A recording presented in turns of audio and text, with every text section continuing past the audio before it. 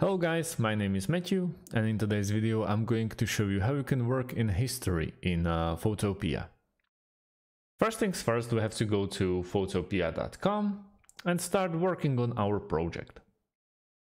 Once you uh, upload the picture as I did just for this purpose and you do some changes like uh, flipping the image or moving it, transforming it and so on, you can also go and adjust or uh, go back to your previous steps through uh, history. So once we are here at photopea.com, we go to the right side of our screen and as you can see there is history.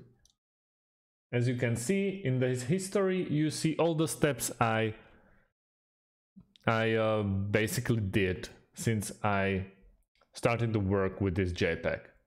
So this is my actual uh, position or actual point where I'm like where I ended at the moment. But if you want to check the previous uh, steps, you just click on the history options. And as you can see now, there I was toying, uh, toying around with canvas sizes. I was flipping it horizontally. I flipped it ver vertically and all that you can see in the history of Photopea, which I see very, very easy to use.